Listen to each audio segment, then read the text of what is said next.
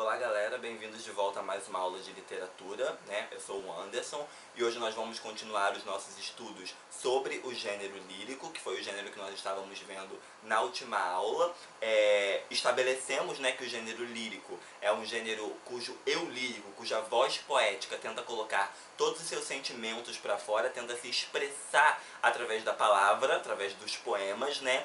E vimos toda a estrutura que compõe um poema. Falamos de rima, de métrica, de ritmo, de estrofe, de versos, enfim. Tivemos uma aula muito conceitual e até um pouco é, longa, né? Para falar sobre esses conceitos. Hoje nós vamos falar sobre os três tipos de lirismo, que eu terminei a última aula falando que existem três tipos de lirismo que estão dentro do gênero lírico, né? E nós podemos ter o lirismo clássico, o lirismo romântico e o lirismo moderno. Então hoje nós vamos diferenciar esses três tipos de lirismo para podermos encerrar os nossos estudos sobre o gênero lírico, ok?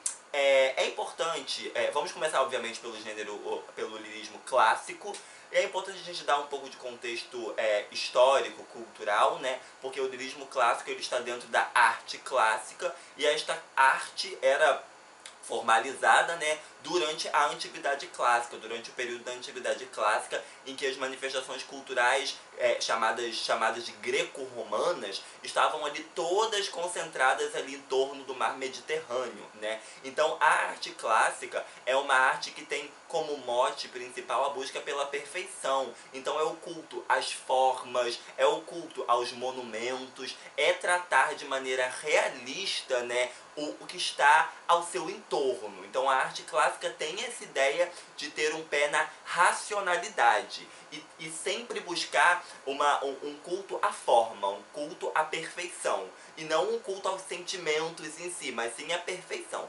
Mas se a gente está dentro do gênero lírico, obviamente que os poemas líricos, a literatura lírica, vai precisar falar de alguma maneira ou outra de sentimento. Mas como que era esse falar de sentimento nos textos do lirismo clássico? Isso que é importante a gente saber hoje, né? Como que era é, é, transmitido esses sentimentos, mesmo com uma arte que buscava tanto ser racional, ser mais racionalista e não tão irracional e não tão fincada no sentimentalismo, na subjetividade. Então, algumas características centrais que a gente pode falar do lirismo clássico, que são principalmente a harmonia, a simetria, o equilíbrio das formas, né, a concisão, a racionalidade. Então, se a gente para para pensar em simetria, tudo, que, tudo tem que estar tá simétrico, tudo tem que estar tá ali no devido lugar. Não tem um espaço para subjetividade. Quando a gente fala em concisão, quando a gente fala em equilíbrio de formas,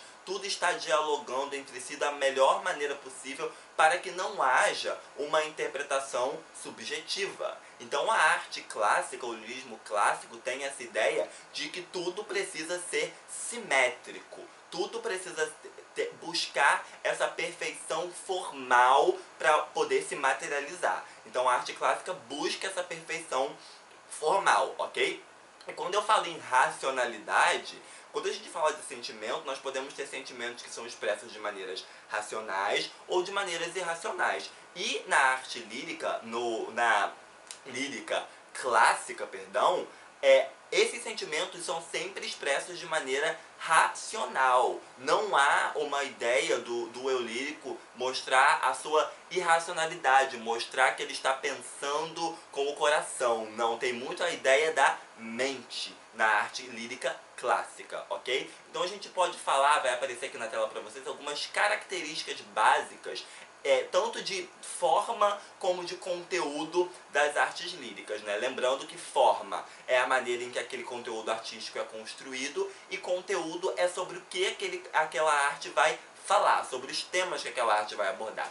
Então falando especificamente do lirismo clássico, primeiramente falando sobre sua forma, primeira coisa que nós temos que considerar é as formas, são as formas clássicas que eram usadas. Qual é a forma mais clássica de se escrever um poema? É um soneto, aquela construção clássica com quatro quartetos, com, perdão, com dois quartetos e dois tercetos. Então os sonetos eram as principais maneiras de, de se escrever poemas durante é, o lirismo clássico, né? As pr principais construções que estão dentro do lirismo clássico eram feitas através de sonetos, porque eram a forma mais clássica de se escrever é, literatura, de se escrever poemas, e também tinham o culto à forma, a essa forma de dois quartetos e dois terceiros, a esta estabilidade, a esta concisão. Então, se o lirismo clássico busca sempre ser conciso, busca sempre ser estável, busca sempre ser assimétrico,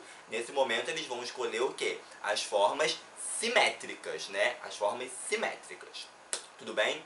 Segunda coisa que nós podemos falar sobre a forma é a erudição. O que é erudição? Erudição significa que é uma arte que vai ter uma linguagem, é um tipo de texto que vai ter uma linguagem rebuscada, vai ter uma linguagem de difícil entendimento, porque eu preciso usar as normas, eu preciso seguir as regras, eu preciso estar de acordo com as formas. Então o lirismo clássico não vai ter uma linguagem fácil, de fácil entendimento, vai ter uma linguagem erudita, uma linguagem de difícil entendimento por causa desse culto à forma, né? Outra coisa que nós podemos falar sobre o lirismo clássico é a ideia da métrica regular. Nós vimos isso na nossa última aula, a diferença entre métrica regular e métrica irregular. Nós temos um poema com métrica regular, quando todas as estrofes possuem sílabas poéticas, o mesmo número de sílabas poéticas, e métrica irregular, quando as estrofes possuem diferentes números de sílabas poéticas. Se o lirismo clássico busca cultuar a forma, ele tem que ter uma métrica regular. Nada que é irregular vai poder dar certo no lirismo clássico, certo? Então, sobre a forma, nós temos esses, essas três principais características. O uso da forma clássica de escrita, que é o soneto, uma linguagem rebuscada e também a ideia da métrica regular. Falando agora sobre os temas abordados pelo lirismo clássico, como principal tema, nós podemos falar sobre o amor platônico e sobre as formas do corpo.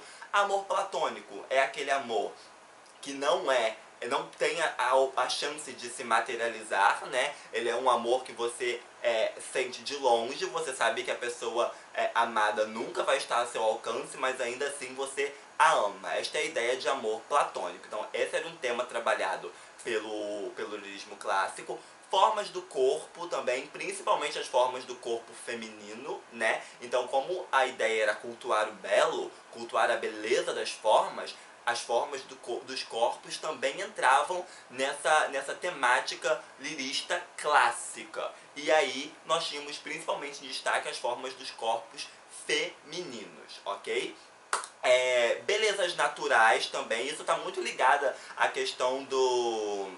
a questão da da arte plástica, né, das artes plásticas da época, porque se você para para analisar um, um, monumento, é, todos eles vêm da antiguidade, né? Então havia muito essa ideia de monumentos, de, de contemplar monumentos históricos. Então essas belezas, é, que são chamadas de belezas naturais daquela época, também eram contempladas nos poemas liristas clássicos, né? Questões existenciais também já entravam, né? Mas eram questões existenciais não de uma voz poética em si. Eram questões existenciais que serviam para todos que liam aquele poema. Essa era uma ideia bem constante do lirismo clássico, porque eu tenho que voltar a falar um pouquinho da racionalidade. Se nós temos uma racionalidade, os poemas líricos não vão ser é, é, é, apesar do eu lírico estar tá ali falando sobre um sentimento dele, ainda assim aquele poema vai servir para todo mundo, porque havia uma ideia de universalidade. Era uma temática universal a todos. Então todos poderiam se identificar com o que está sendo dito, né, com o que estava sendo dito em determinado poema, ok? Podemos falar também de mais dois termos, de mitologia e da arte clássica propriamente dita, né? Mitologia era sempre abordar alguma coisa relacionada aos deuses mitológicos da época, né? E as arte, a arte clássica, como eu já falei, era fazer esse culto aos monumentos históricos daquele período para né, é, mostrar que a, o texto escrito estava também em consoante com as correntes de arte plástica da época, ok? Então essa, essa é a ideia geral do lirismo clássico, é esse culto à forma, né? Culto a tudo que era regular, culto à beleza, culto à perfeição e sempre tentando tratar de temas universais. Nunca dá espaço para subjetividade. Ser uma coisa mais objetiva, mais universal, mais racional, mais concisa, ok? Essa era a ideia central do lirismo clássico. E para fechar, antes da gente passar para o próximo tipo de lirismo, eu gostaria de ler um poema do lirismo clássico para vocês chamado O Vinho de Hebe, ok? Prestem atenção nesse poema, tá aparecendo aí para vocês. Quando do Olimpo, e preste atenção, Olimpo nós já temos o quê? Um deus mitológico. Então já estou aqui abordando um aspecto da mitologia. Quando do Olimpo nos festins surgia Hebe risonha, os deuses majestosos os copos estendiam-lhe, ruidosos, e ela, passando, os copos lhe enchia. A mocidade, assim, na rubrorgia da vida, alegre e pródiga de gozos, passa por nós, e nós também, sequiosos, nossa taça estendemos-lhes vazia. E o vinho do prazer em nossa taça verte-nos ela, verte-nos e passa, passa e não torna atrás o seu caminho. Nós chamamo-la em vão, e nossos lábios restam apenas tímidos ressábios, como recordações daquele vinho.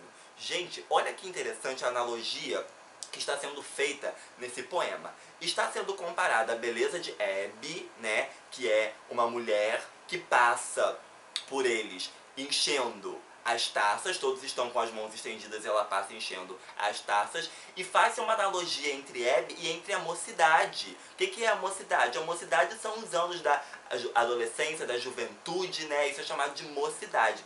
E ele faz, o autor faz essa analogia entre a beleza de Hebe e a beleza da mocidade. Ele diz que assim como Hebe, que é linda e passa enchendo os nossos copos, a mocidade também. Ela é maravilhosa e passa enchendo os nossos copos porque estamos com as mãos estendidas. E tem um momento em que ela passa e ela não volta atrás, não tem como a gente recuperar. Então, do mesmo jeito que esse lírico não vai recuperar, não vai ter de volta o amor da Hebe, nós também não vamos ter de volta a nossa mocidade.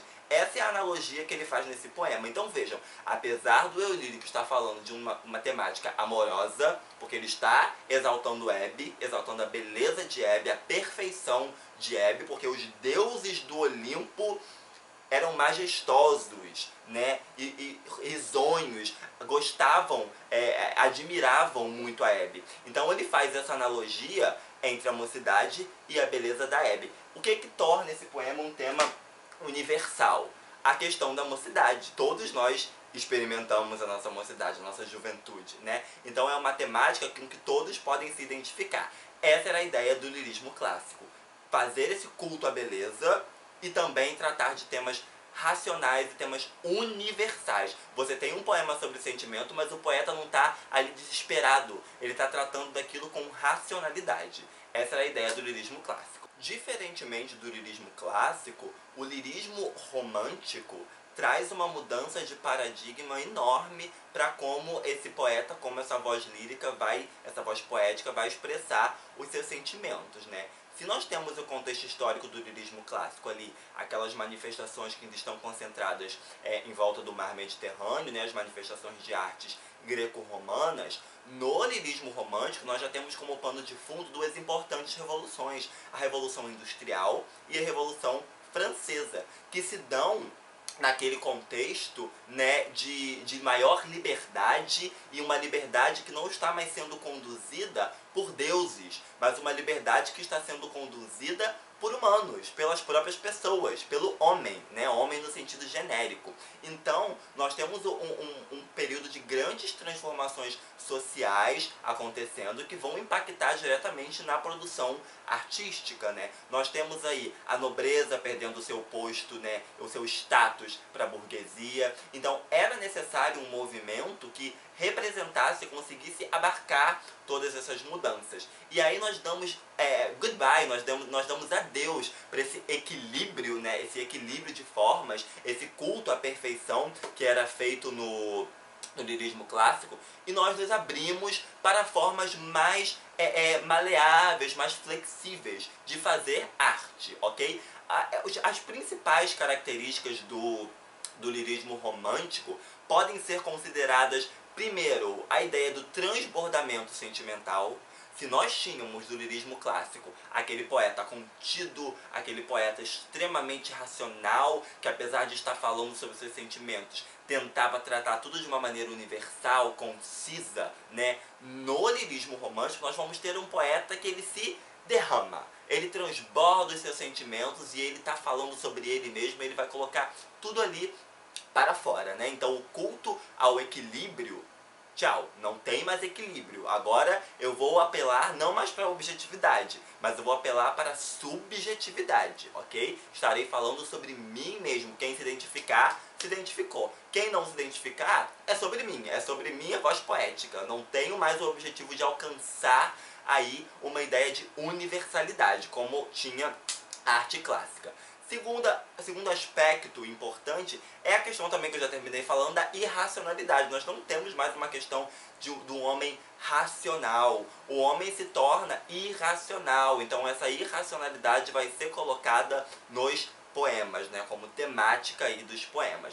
Vamos mais uma vez fazer aquela divisão entre forma e conteúdo. Primeiramente falando de forma, nós começamos o lirismo romântico a abandonar um pouco as formas clássicas e a ter uma maior liberdade formal. Então, se nós tínhamos do lirismo clássico é, os versos alexandrinos ou é, os versos de, decassílabos. Agora, aqui no, na, na, no lirismo romântico, perdão, nós vamos ter mais redondilhas, né, as redondilhas maiores ou as redondilhas menores. Vamos ter uma métrica que, apesar de ser regular, ela ainda assim não vai seguir tanto as formas clássicas como acontecia no lirismo clássico. Ela vai ter uma maior liberdade formal de métrica, né? O nosso vocabulário vai se tornar um vocabulário mais simples, porque eu preciso atingir agora uma nova classe social que surgiu, né? Então eu preciso conversar com essa nova classe social através dos poemas, então eu vou ter um vocabulário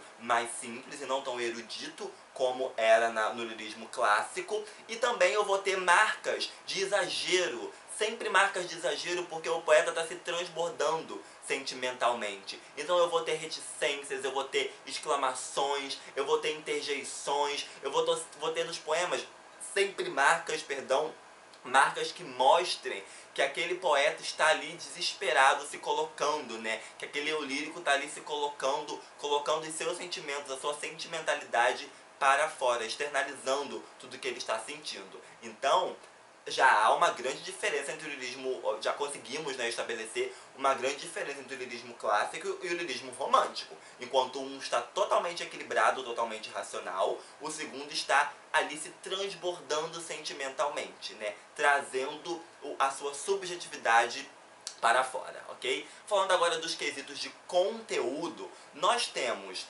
é, no lirismo romântico uma ideia principal de nostalgia. Então é uma nostalgia do passado ou é uma nostalgia da infância, né? Sempre essa ideia nostálgica, essa ideia de sentir falta de alguma coisa. Nós também temos poemas que abordam muito a questão da idealização feminina, ou seja, eu vou tratar as mulheres de maneiras, maneira completamente idealizada e não como elas realmente são. Essa é uma marca central do romantismo. É tratar as mulheres de forma idealizada, mostrar visões que não correspondem de fato a como essas mulheres são. Então, essa é uma característica chave para entender o lirismo romântico para entender o romantismo. Também vamos ter um sofrimento amoroso. É um eu lírico que vai estar sempre sofrendo de amor, porque ele não consegue atingir aquele amor, e a partir daí ele vai ter esse transbordamento sentimental, ele vai ter essas marcas de exagero, ele vai estar sempre desesperado, sempre triste, sempre chorando, porque não consegue alcançar aquele amor. Então nós temos essa, essa temática do sofrimento de amor, né? E também temos alguma uma temática de exaltação de elementos nacionais, que também fez parte aí de uma das fases do romantismo, né? Você valorizar imagens nacionais, criar essa ideia de nacionalismo, ok? Então, essas são as temáticas importantes para a lírica romântica, ok? E antes de passarmos para a lírica moderna, né, eu vou ler um poema da lírica romântica para vocês perceberem bem essa ideia do poeta se derramar sentimentalmente, mostrar o seu transbordamento de sentimento. Prestem atenção é um poema do Álvares de Azevedo. Pálida a luz da lâmpada sombria sobre o leito de flores reclinada, como a lua por noite embalsamada, entre as nuvens do amor ela dormia. Era a virgem do mar, na escuma fria pela maré das águas embalada. Era um anjo entre nuvens da alvorada, que em sonhos se banhava e se esquecia.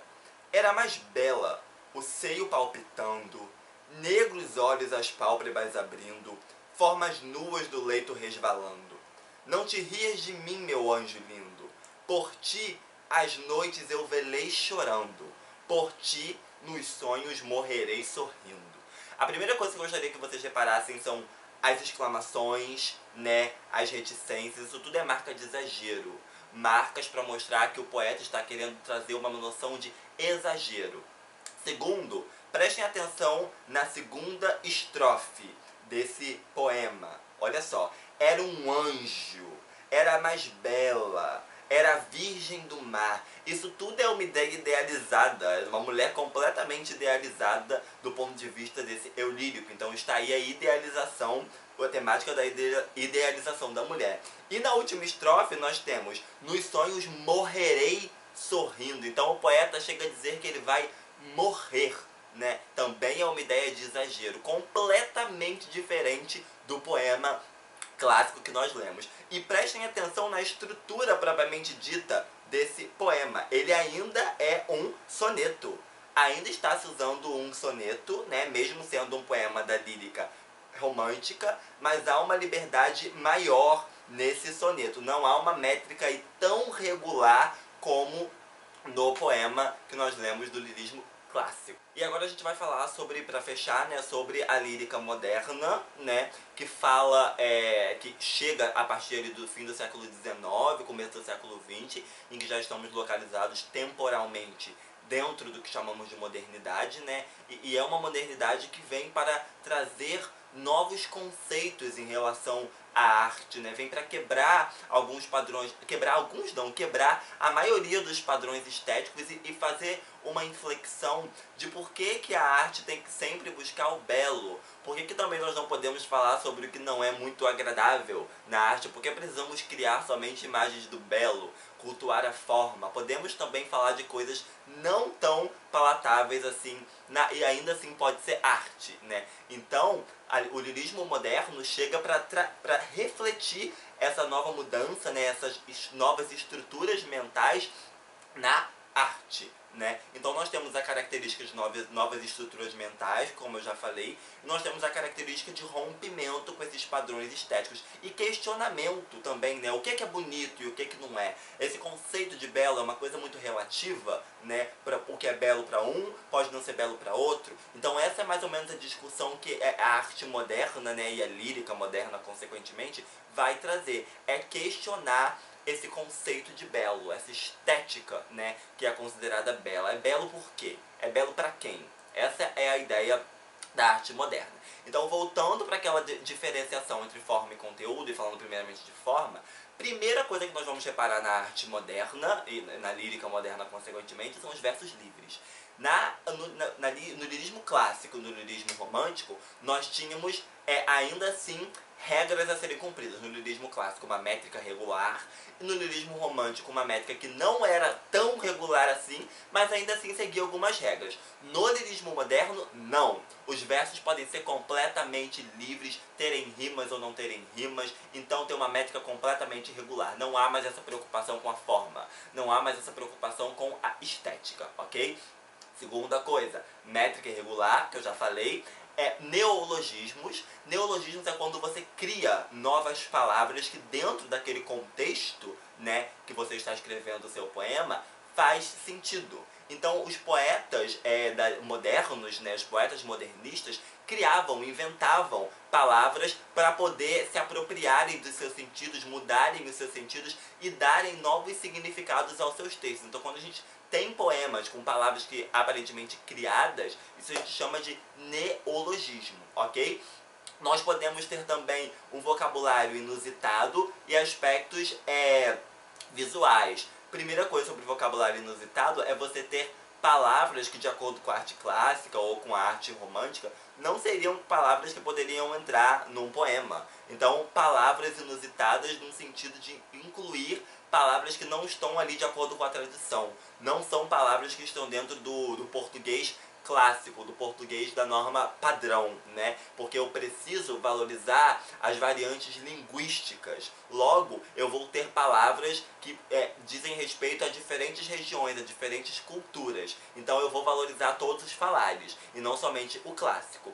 E aspectos visuais, nós podemos falar especificamente do concretismo, porque há dentro do lirismo moderno um movimento chamado concretismo, que é uma poesia visual, uma poesia que busca criar imagens através do texto, para tirar essa ideia de forma e conteúdo. Então, o concretismo ele está dentro do, da, do lirismo moderno, né? E é ele que vai trazer esse aspecto de visualidade para dentro das poesias, ok?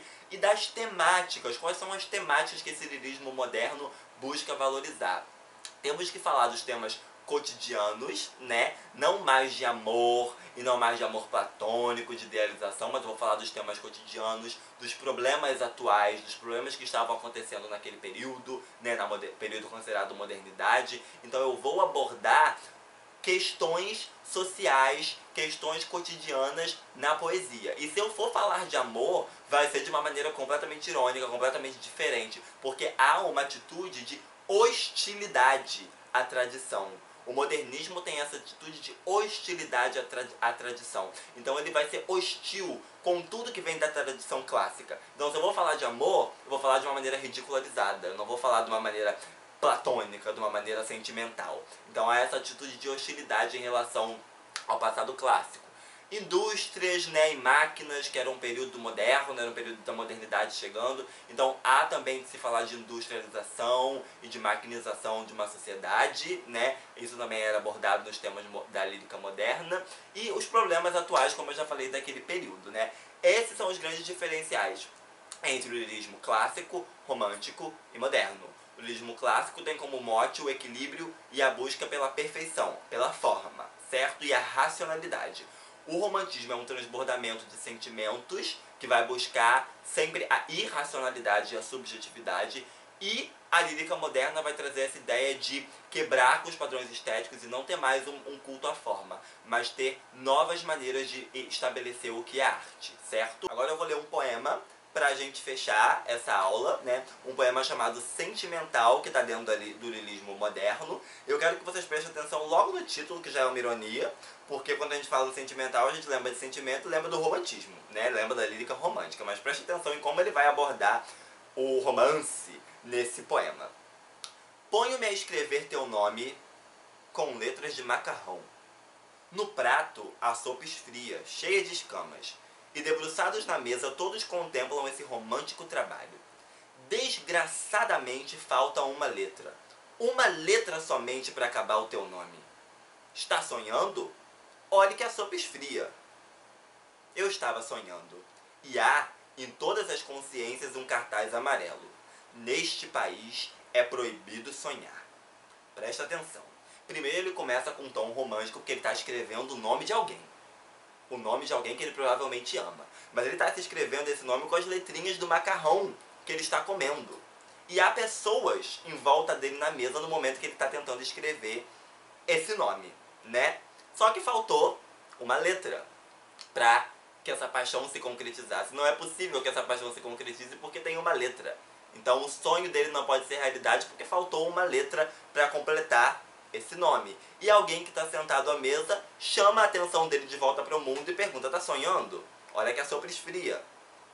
Estava sonhando. E há em todas as consciências um cartaz amarelo. Neste país é proibido sonhar. E aí nós temos uma crítica social no fim do poema. Neste país é proibido sonhar. Que está, obviamente, falando né, sobre as questões é, econômicas, sociais, de desigualdade do Brasil e mostrando que é um país que não tende a valorizar sonhos, é, valorizar desenvolvimento. É, é um país em que as pessoas não têm o direito de sonhar. Isso vem embebido de uma crítica social, né? Então é um poema que ele, ao mesmo tempo que ele brinca com o romantismo, ele também faz uma crítica uma problemática político-social aí do país, né? Então, essa é, é, comparar esses três poemas é muito interessante para a gente perceber esse caminho que a literatura faz ao longo do tempo, né? Gente, essa é a nossa aula de hoje. espero que tenha ficado claro a diferença entre lirismo clássico, romântico e moderno. E nos vemos na nossa próxima aula de literatura, ok? Até lá!